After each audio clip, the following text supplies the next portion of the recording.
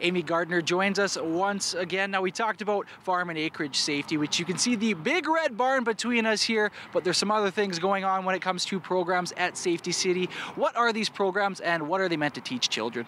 Well, we have this lovely streetscape in behind us. That's where we use our pedestrian traffic safety, where the kids learn how to cross the road safely.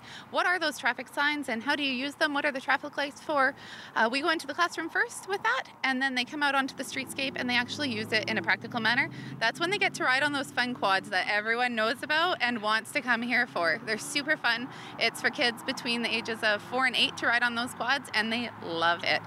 We also have our bicycle safety programs, and in there they get to go inside again. They learn a little bit about it. What are we going to do? How can we make it a little bit safer when we're on the streets? And then they come out here with their own bike, their own helmet, and they have to be able to ride without training wheels. Mm-hmm. Uh, and then they have lots of fun out here, and they learn everything in a practical sense. Yep.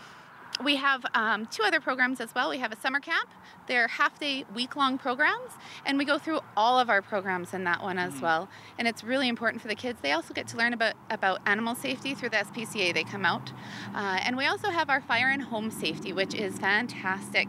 There's a beautiful Sparky's house in behind us that we can't see just on the other side of the streetscape they love it. They get to go in there, they do a kitchen inspection, they get to do a home escape plan, and these are parented courses for most of them, so the parents get to see what we're doing as well. Perfect. Thanks, Amy, once again for joining us. Absolutely. Thank you.